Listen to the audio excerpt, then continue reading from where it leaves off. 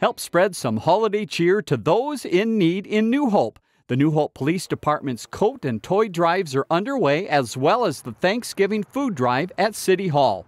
Donate new and gently used coats until November 30th and new unwrapped toys and gift cards for kids until December 14th. Coats and gifts for teens are especially needed.